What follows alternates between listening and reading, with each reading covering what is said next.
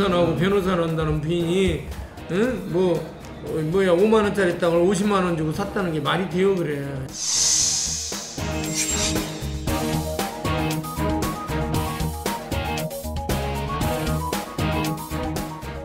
비상장 주식의 액면만 공개하도록 한 제도는 사실상 또 법 취지에 반하는 그런 규정입니다.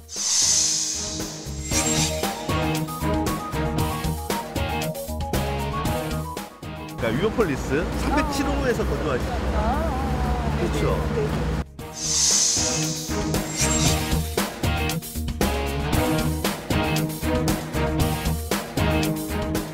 수십억의 어떤 수익률을 바라보고 하는 그런 투기성 거래라고 봐야 될 것 같습니다.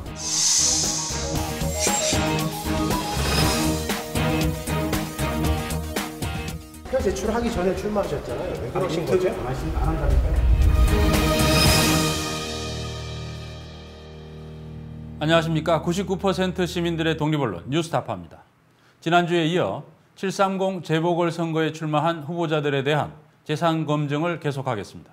충남 서산 태안에 출마한 새누리당 김재식 후보는 아내가 3년 동안 4억 원어치의 땅을 매입했던 것으로 확인됐는데요. 특히 단기 시세 차익을 노리는 기획 부동산 업체를 통한 거래여서 투기 의혹이 제기되고 있습니다. 그러나 김 후보 측은 오히려 수억 원을 손해봤다는 이유로 자신들은 피해자라는 입장을 내놓고 있습니다. 경기 수원 병에 출마한 새누리당 김용남 후보의 경우는 대지로 용도 변경된 땅을 여전히 논으로 신고해서 적어도 3억 7천여만 원을 축소 신고한 것으로 드러났습니다. 김성수 기자가 보도합니다. 충남 서산 태안에 출마한 새누리당 김재식 후보. 2007년 부산지검 동부지청장을 마지막으로 검찰을 떠난 뒤 2008년 초 변호사 개업을 합니다. 그런데 얼마 뒤인 2008년 11월 김 후보의 아내 이현묘 씨는 전북 군산시 회연면 원우리 일대 임야 네필지 300여 평을 1억 5천5백만 원에 사들입니다. 새만금 개발한다 해가지고 여기에 그 개발 호재로 샀다고 봐야죠. 여기다가 산 위에 뭐 이런 전원마을 같은 거 진다 이렇게 했겠죠. 이 씨는 불과 두 달 뒤인 2009년 1월 경기도 용인시 처인구 일대 임야 두 필지 360여 평을 1억 6천6백만 원에 매입합니다. 5년 전쯤에 이 동네 혹시 부동산 관련 문제가 있었어요? 예, 예. 아파트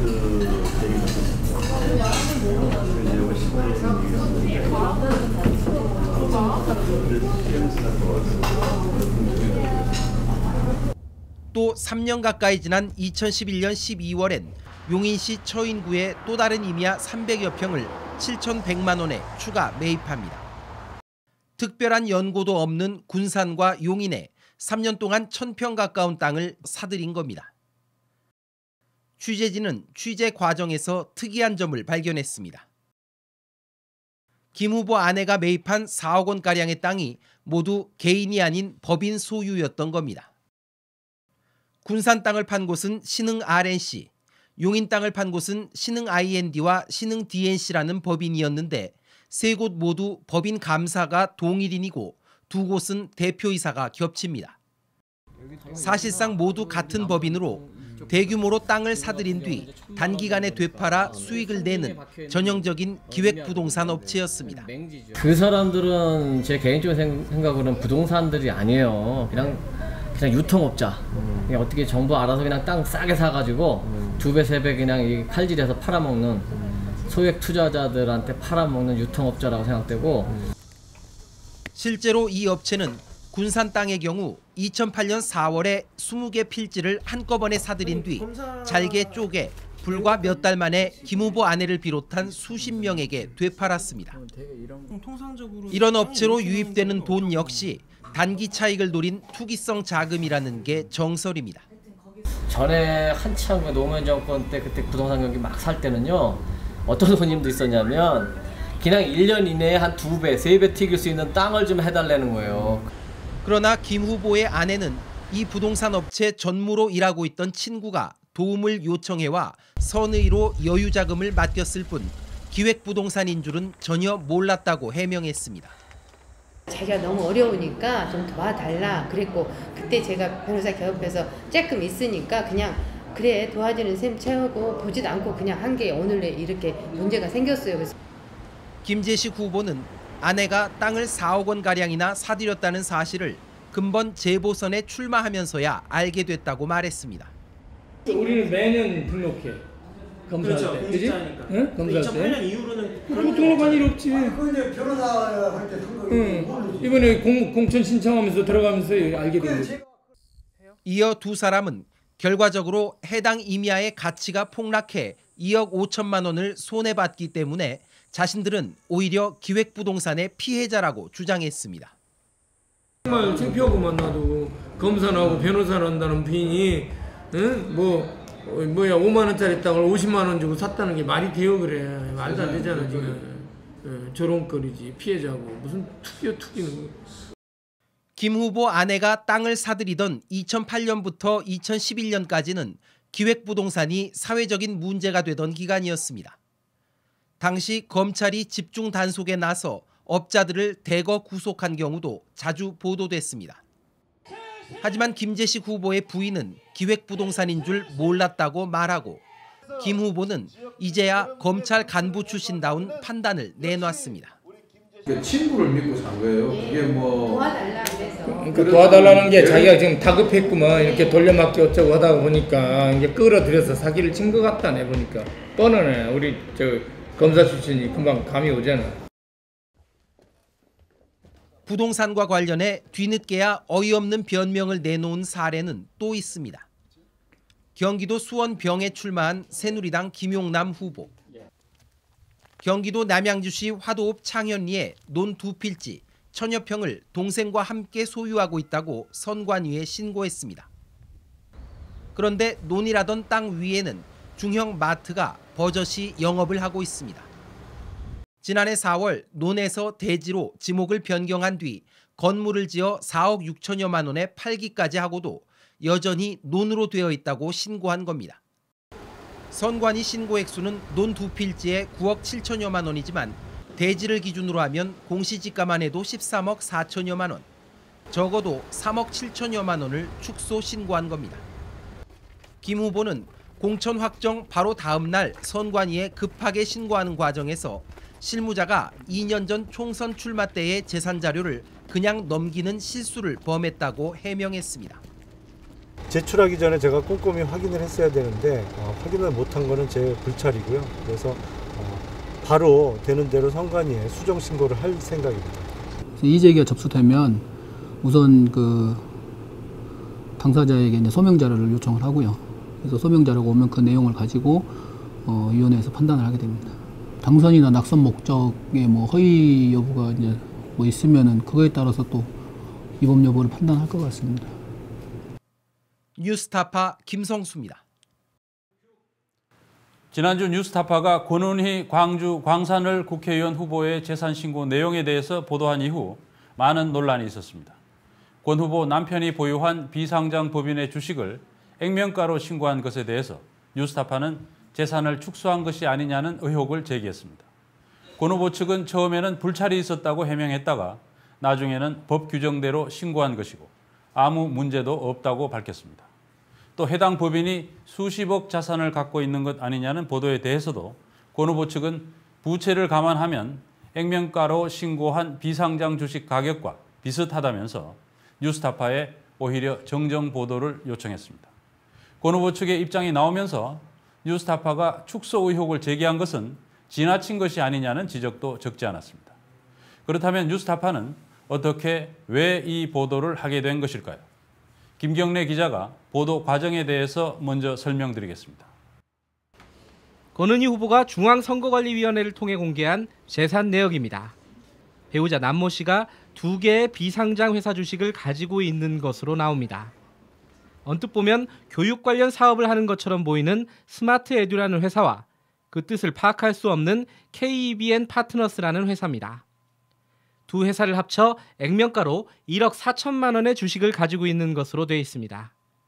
일반적인 벤처회사 투자 정도로 보입니다. 과연 어떤 사업을 하는 회사일까? 이 법인들은 기업 공시 의무가 없는 회사이기 때문에 금융감독원 전자공시 시스템에서 기업 정보를 알 수 없습니다. 구체적으로 어떤 사업을 하는 회사인지, 자산과 부채가 얼마나 되는지 등 기본적인 정보조차 알 수 없다는 겁니다. 법인 등기부 등본을 떼봤습니다. 회사 주소와 목적, 자본금 총액, 이사들의 명단을 확인할 수 있습니다. 회사 목적이 부동산 매매업, 숙박업, 교육 서비스업 등이라고 적혀 있습니다. 두 회사의 대표이사가 모두 권 후보의 배우자 남 씨로 돼 있고 특히 KEBN 파트너스는 이사가 남씨 혼자입니다. 그러나 정보는 여기까지입니다. 회사 주소로 찾아가 봤지만 두 회사는 사실상 서류상으로만 존재하는 페이퍼 컴퍼니였습니다. 권 후보 측은 뉴스타파 취재진이 법인 사무실이 아닌 엉뚱한 곳에서 취재했다고 주장했지만 유스타파는 해당 사무실을 지난 17일 이미 찾아서 확인했습니다. 그런데 권 후보의 재산 내역에는 특이한 점이 있었습니다. 배우자가 상가는 다섯 채나 소유하고 있는데 거주용 주택이 없습니다. 그렇다고 주택 전세나 월세를 위한 보증금도 없습니다. 혹시 보유하고 있는 상가에서 거주하고 있는지 보기 위해 상가 다섯 채의 등기를 열람했습니다. 건물 이름만 나오고 호수가 없기 때문에 건물에 있는 상가 전체의 등기 수백 통을 모두 열람했습니다. 그런데 다른 상가 등기부 등본에서 권 후보 배우자 남 씨의 이름이 아닌 남 씨 소유의 회사 이름들이 무더기로 발견됐습니다. 여기서 남 씨 소유의 비상장 회사 두 곳의 정체가 일부 드러난 겁니다. 부동산 임대업을 하는 법인들이며 적어도 상가 9개를 운영하고 있다는 사실입니다. 공직선거 후보자의 재산을 공개하는 취지는 후보자가 어떤 종류의 재산을 얼마나 어떻게 가지게 됐는지 유권자에게 정확한 정보를 전달하자는 겁니다. 하지만 권 후보의 경우처럼 법인 정보가 거의 공개되지 않고 사실상 배우자 1인이 지배하는 기업도 비상장이라는 이유로 보유 주식 지분의 액면만 기재하는 경우 유권자는 제대로 된 정보를 결코 얻을 수 없습니다. 재산 공개 시 비상장 주식의 액면가 신고 문제는 사실 재산 공개 제도가 처음 생길 때부터 제기되어 온 것입니다. 지난 1993년 현 새누리당의 전신인 민자당 정재문 의원이 수백억 대 땅을 법인 소유라는 이유로 주식 액면가로 줄여 신고했다가 당 차원의 징계 대상에 오르기도 했습니다. 그 이후에도 홍석현 전 주미대사, 김병국 전 청와대 외교안보 수석 등이 비상장 법인의 보유 주식을 액면으로 신고했다가 재산 축소 신고 의혹을 받았으나 여태 제도 개선이 이루어지지 않고 있습니다. 비상장 주식은 액면가보다도 굉장히 큰 시가를 가지고 있을 수 있습니다. 예, 그리고 액면가만 공개하기 때문에 이 비상장 주식을 통해서 예를 들어 부동산을 사실상 보유하고 있다거나 어, 뭐 이런 것들이 전혀 드러나지 않습니다. 그래서 어, 공직자의 실체적 재산을 공개한다는 그런 취지에 볼 때 이 비상장 주식의 액면만 공개하도록 한 제도는 사실상 그 법 취지에 반하는 그런 규정이라고 할 수 있겠습니다. 예, 공직선거 후보자의 재산을 공개하는 것은 재산의 규모, 유형, 형성 과정 등을 투명하게 알려서 유권자들의 판단을 돕기 위해서입니다. 그러나 보신 것처럼 선관위에 신고된 권은희 후보의 재산 내역만 봐서는 배우자가 지배하는 법인이 보유한 부동산의 규모를 전혀 알 수 없게 되어 있습니다. 뉴스타파가 권 후보 배우자가 개인적으로 소유한 상가 빌딩의 등기부를 무작위로 열람하면서 법인 역시 같은 빌딩에 다수의 상가를 보유하고 있다는 사실을 우연히 확인하게 된 것인데요. 취재를 한 김경래 기자가 나와 있습니다. 네, 김경래 기자. 네. 이 권은희 후보는 법 규정대로 신고했을 뿐이다. 권 후보 배우자가 지배하는 법인 소유 부동산을 신고할 수도 없고 비상장 법인이니까 규정대로 주식을 액면가로 신고했다. 따라서 뉴스타파가 이 권 후보 측이 재산을 축소해서 신고한 것 아니냐는 어, 그런 보도를 한 것은 지나친 문제 제기다. 이런 음. 지적을 하는데 어떻게 보십니까? 네, 그런 지적은 당연히 할 수 있다고 봅니다. 아, 지난주 뉴스타파 보도 안에서도요. 비상장 주식은 액면가로 신고하도록 규정돼 있다 이렇게 밝힌 바가 있고요. 그런데 권 후보 배우자 남 씨가 지배하는 법인의 부동산을 만약 남 씨가 사실상 개인 소유처럼 사용하고 있었다. 이렇게 되면 얘기가 좀 달라집니다. 네. 아, 실제 취재 과정에서 그런 정황을 포착을 했고요. 이 부분은 홍효진 기자가 전해드리겠습니다. 권은희 후보의 남편 남모 씨가 대표로 있는 부동산 업체는 지난 2013년 1월 경기도 화성 동탄 신도시에 40층짜리 빌딩 오피스텔 두 곳을 사들입니다. 이 업체는 남 씨가 지분 100%를 갖고 있는 사실상 1인 기업입니다. 그런데 남 씨와 권은희 후보는 이 법인 명의로 구입한 이 오피스텔에서 최근까지 거주했습니다. 폴리스, 그러니까 유로폴리스 307호에서 거주하시죠. 그렇죠. 근데 307호에는 이를테면 법인 등본이 뭘로 돼 있어요? 확인 가능한데요. 그렇죠. 확인이 가능하죠. 예, 일단 3층의 또 다른 오피스텔 역시 남 씨의 법인 소유로 돼 있지만 남 씨의 개인 주소지로도 이용되고 있습니다. 두 채 앞에 시세는 6억 원을 호가합니다. 33평 있긴요. 아, 예, 그거. 3억 전체는 뭐 1억 2천 5백 권 후보 부부가 사실상 거주한 곳이지만 법인 명의로 해놓은 덕에 선관위에 신고한 재산 내역에는 들어있지 않습니다. 개인 소유가 아니니 신고할 의무가 없기 때문입니다. 문제는 권은희 후보 부부가 법인과 임대차 계약도 하지 않고 살았다는 것입니다. 전세금이나 월세도 내지 않았습니다. 관리비 등의 비용 처리는 어떻게 했느냐는 뉴스타파의 질문에는 답하지 않았습니다. 관리비 등의 비용 처리는 어떻게 했는지 아, 그러니까 저희 취재 응하지 않는다니까. 형식적으로는 엄연히 법인 소유의 오피스텔이지만 실제로는 자신의 집처럼 살았다는 이야기입니다. 이 때문에 명의만 법인으로 해놓고 개인 재산처럼 이용했다는 의혹이 제기됩니다. 이에 대해 권 후보 측은 살았던 곳이 아파트가 아니라 오피스텔이고 남 씨가 법인 대표로서 이 오피스텔에서 법인 업무를 받기 때문에 임대차 계약이 없어도 법적으로 문제되지 않는다고 주장했습니다. 거기가 예를 들어서 주택이라면 임대차 계약을 해야 되지만 여기는 법인의 대표이고 그에 따른 사무 공간이 거기고요. 그게 오피스텔 형태이기 때문에 주거 형태가 같이 가능한 거죠. 따로 예, 예. 임대차 계약은 안 맺었다. 예, 예.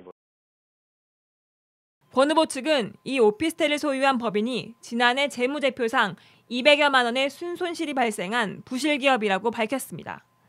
이 말대로라면 권 후보 부부는 적자나는 법인 소유의 부동산을 공짜로 이용한 셈입니다. 뉴스타파 홍여진입니다.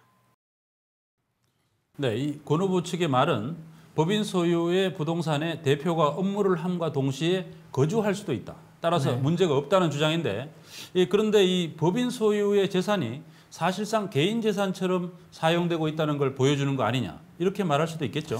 그렇습니다. 그 뉴스타파 취재 결과 어, 배우자 남 씨가 40%를 소유한 법인 어, 스마트 에듀 예. 그리고 100%를 소유한 KEBN 파트너스의 경우에는 사무실도 없고요, 직원도 없는 이른바 페이퍼 컴퍼니의 형태로 운영이 되고 있었습니다. 네, 이런 법인들은 형식만 법인일 뿐이지 사실상 개인 기업처럼 운영되는, 어, 운영되는 경우가 많습니다. 더구나 권 후보 배우자 남 씨의 개인 부동산들이 버젓이 있는데도 어, 법인 소유의 부동산에 대표이사 부부가 거주를 하고요. 법인과는 전세 계약도 맺지 않는 것은 사실상 법인의 자산을 개인 사유물처럼 이용하고 있다. 이런 의문이 생길 수밖에 없습니다. 어, 말하자면은 회사가 집을 임대해서 돈을 벌 수가 있는데 그 집에 대표가 살기 때문에 돈을 못 번다. 이런 상황이 생기게 되는 겁니다. 네, 김경래 기자. 네. 이또 권 후보 측은 부채가 많기 때문에 실제로 그 배우자 남 씨가 지배하는 법인들이 소유한 부동산 그 가치가 신고한 비상장 주식의 액면가와 비슷하다.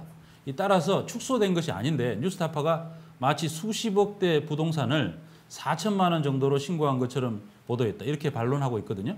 여기에 대해서는 어떻게 보십니까? 어, 물론 많은 상가를 취득을 하면서 대출도 받았을 겁니다. 그런데 지금까지 권 후보 배우자 회사의 정확한 자산 규모, 그리고 부채 규모, 그리고 현금 흐름 이런 것들이 정확하게 공개된 적이 없습니다. 어, 뉴스타파는 보다 면밀하게 상황을 파악하기 위해서 어, 권 후보 측에 남씨 법인의 어, 재무 제표를 요청을 했지만 어, 현재 거절한 상태입니다. 그런데 뉴스타파의 취재 결과 배우자 남 씨의 법인은 권 후보 측이 언론을 통해서 밝힌 것보다 훨씬 많은 수의 상가 채권을 인수했던 것으로 드러났습니다. 예, 박중석 기자의 보도를 보시죠. 2010년 6월 권은희 후보의 배우자 남모 씨는 동업자 3명과 함께 스마트 에듀라는 부동산 업체를 설립합니다. 남 씨는 40% 지분을 갖고 법인 대표이사가 됩니다. 이 회사는 설립 9개월 만에 본격적인 부동산 투자에 나섭니다. 2011년 3월 스마트 에듀는 청주시 법조타운의 7층 빌딩 상가를 담보로 한 부실 채권을 한 금융기관으로부터 유동화 자산회사를 거쳐 인수합니다. 권은희 후보 측은 언론에 공개한 뉴스타파에 대한 정정 보도 요청서에서 스마트 에듀 설립 당시 상가 7개에 설정된 채권을 인수했다고 밝혔습니다. 그러나 이는 사실과 다른 것으로 나타났습니다. 뉴스타파 취재 결과 당시 스마트 에듀는 7개가 아니라 16개 상가에 설정된 채권을 인수했던 것으로 확인됐습니다.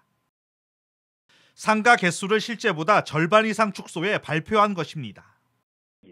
그 부분은 그렇게 반박하시라고요. 그러니까 하실 때 잘못된 게 있다면 저하고 이게 논의할 내용이 아니다 이 말이에요. 일곱 개로 이렇게 설정돼 있다고 하셨는지 이유가 뭐 딱히 있는지도 여쭤보는 거예요. 아, 저 잘 모르겠습니다. 당시 스마트 에듀가 지불한 16개 상가의 채권 인수 금액은 확인되지 않고 있습니다. 스마트 에듀가 채권을 확보한 이 16개 상가는 넉 달 뒤 경매로 매각됩니다. 당시 최종 경락 대금은 27억 2,100만 원입니다. 스마트 에듀는 이 가운데 4개, 대표 남 씨가 3개, 스마트 에듀 이사 김모 씨가 1개, 그리고 남 씨가 대표로 있는 또 다른 부동산 업체 KEBN 파트너스 이사였던 박모 씨가 1개를 낙찰받았습니다.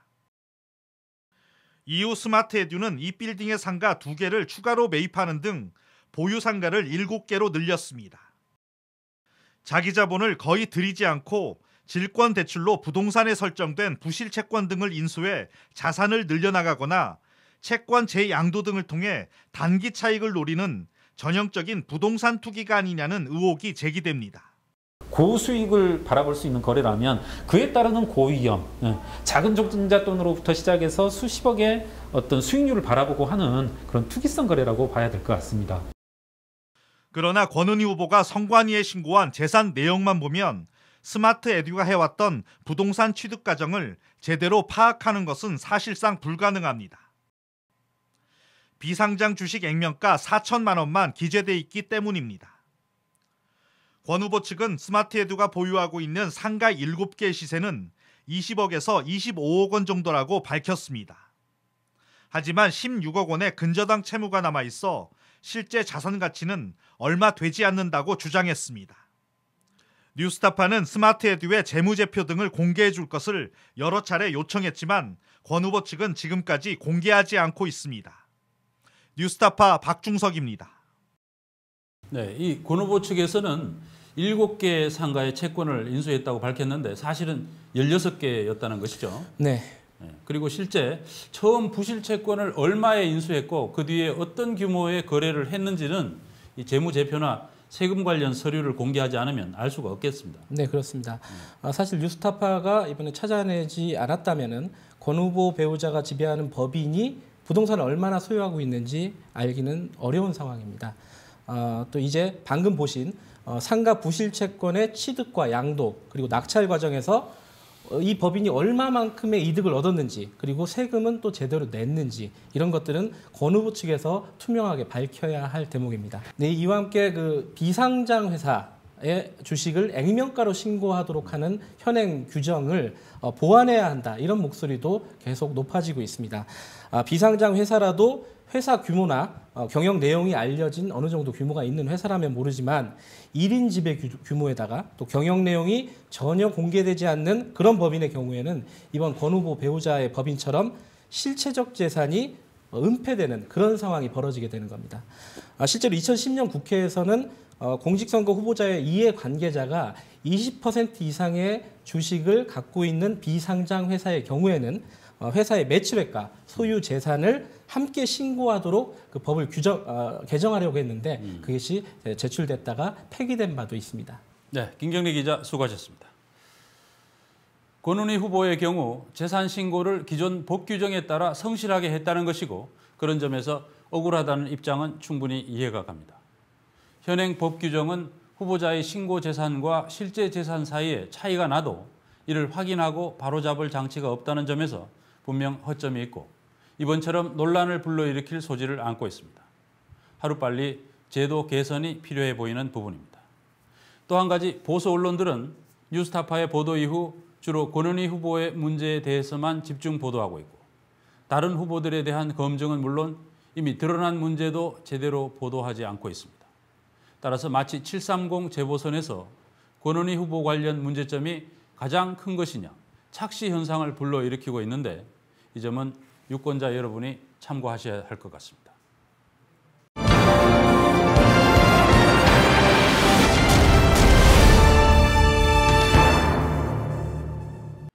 얼마 전 정성근 문화체육부 장관 후보자가 낙마했습니다.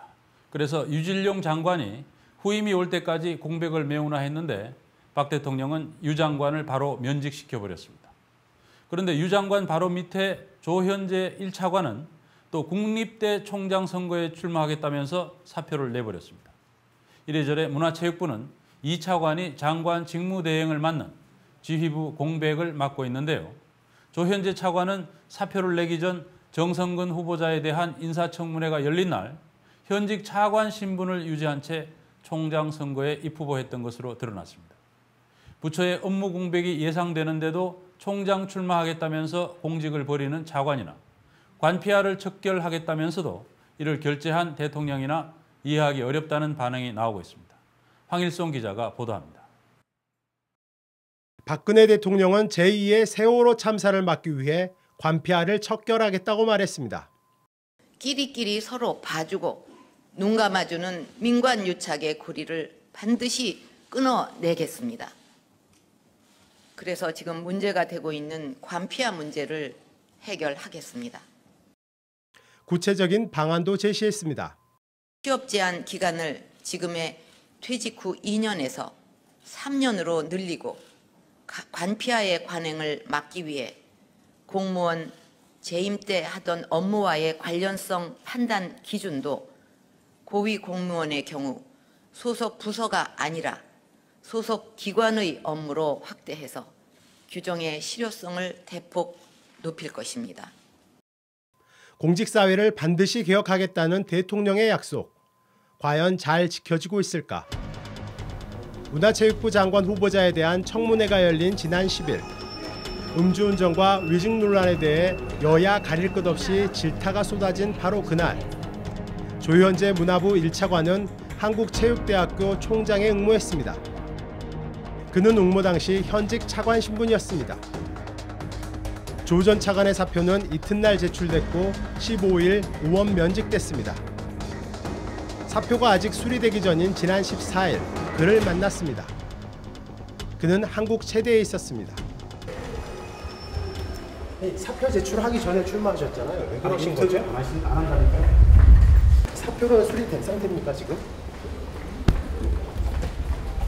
아니 지금 장관도 청문회 통과가 안 되는 상황에서 이게 적절한 처신으로 보기엔 좀 어려울 것 같은데요.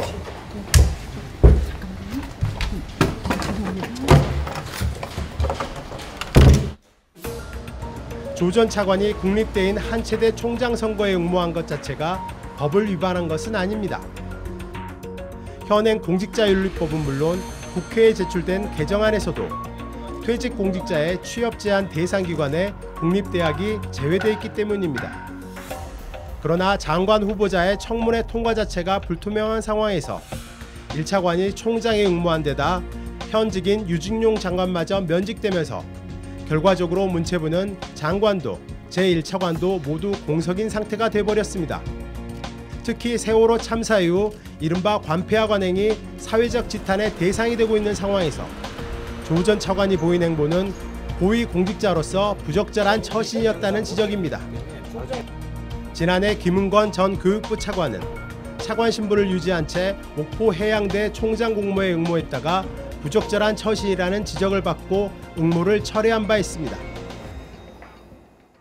게다가 엄정하게 치러야 할 한체대 총장 선거가 절차적 하자에도 불구하고 강행되고 있다는 비판도 나오고 있습니다. 지난 4월 한체대는 총장 후보 2명을 선정했으나 이순희 후보가 개인 사정을 이유로 중도 사퇴하자 삼순위자를 1순위자와 함께 총장 후보로 교육부에 추천했습니다. 그러나 교육부는 두 명의 후보자 모두 총장 임용에 부적격하다며 재추천을 요구했습니다. 부적격 사유에 대해서는 공공기관 정보에 관한 법률에 따라 공개하지 않았습니다. 이에 대해 후보 중 한 명은 부적격 사유를 밝히라며 교육부에 이의 신청을 제기했고 이 문제가 완전히 매듭지어지지 않은 상태에서 총장 선거가 강행되고 있다는 겁니다. 왜 부적합 안정이 났는지 전혀 모르고 있습니다. 이 신청을 해도 아, 답도 없고 지금까지도 기다리고 있는 실정입니다. 그러나 교육부는 국립대 총장에 대한 정당한 인사권 행사라고 말했습니다. 사안들을 검토를 해가지고 부적합하다라는 것을 이제 학교를 공문을 통해 갖고 비공식적으로도 아니고 공개를 하지 않았을 뿐이지 공문으로 저희는 분명히 그 전달을 해드렸고요. 학교 입장에서 교육부로부터 재추천해달라는 요청을 받은 이상 당연히 그 다음 절차를 진행하는 게 오히려 맞는 것이고 그 절차를 진행을 하지 않으면 오히려 더 문제가 되는 사안이 되겠죠. 장관 청문회 도중 현직 차관의 신분으로 국립대 총장에 응모한 문체부 고위 공무원 현 장관에 대한 면직 통보를 제거하기 직전 부처 지휘부 공백이 뻔히 보이는데도 총장으로 가겠다는 차관의 사표를 수리해준 박근혜 대통령. 과연 박 대통령이 대국민 담화에서 밝혔던 강력한 관폐와 척결 의지는 어디로 갔는지 묻지 않을 수 없습니다. 뉴스타파 황일수입니다. 세월호 참사 희생자의 유족들이 단식에 들어간 지 오늘이 벌써 9일째입니다. 자식들의 죽음으로 이미 무너진 심신에 단식까지 해야 하는 유족들을 위로해 주지는 못할 망정. 어제는 어버이연합 회원들이 난동을 부렸고 며칠 전에는 엄마 부대 봉사단이라는 보수단체가 찾아가서 나라를 위해 목숨을 바친 것도 아닌데 이해할 수 없다면서 비난했습니다. 심재철 세월호 국정조사 특위 위원장은 학교 수학 여행을 가다가 개인 회사의 잘못으로 희생된 사건을 특별법을 만들어 보상해 달라는 것은 이치에 어긋난다는 내용의 카카오톡 메시지를 돌려서 가족들의 가슴에 대못을 받기도 했습니다. 그러나 그들의 주장과는 달리 실제 유족들이 원하는 것은 보상이 아니라 진상 규명입니다. 유족들은 박근혜 정부와 새누리당이 지금과 같은 태도를 보이면 세월호가 어떤 과정에서 침몰했고 왜 아이들을 구하지 못했는지 누구의 책임인지 도저히 밝힐 수 없다고 믿고 있고 그래서 세월호 진상조사위원회에 수사권과 기소권이 필요하다고 주장하고 있습니다. 과연 우리는 어떤 선택을 해야 할까요? 이 질문에 대한 답으로 뉴스타파는 내일 세월호 침몰 이후 72시간 동안 과연 국가가 무슨 일을 했는지 되짚어보는 특집 다큐멘터리 세월호 골든타임 국가는 없었다를 방송할 예정입니다. 세월호 참사 진실을 기록하는 4.16 제작단과 뉴스타파가 공동 제작한 이 다큐멘터리는 박혜진 앵커의 진행으로 여러분을 찾아갈 예정입니다. 이 다큐멘터리를 통해 세월호 사태가 대한민국에 주는 의미가 무엇인지 우리는 지금 무엇을 해야 하는지 함께 생각하는 계기가 되기를 바랍니다. 오늘 뉴스타파 여기서 마치겠습니다. 감사합니다.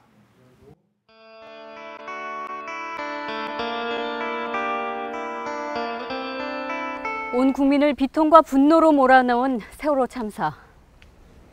수백 명의 생명이 쓰러져간 4월 16일 그날 이후 어느덧 100일이 흘렀습니다.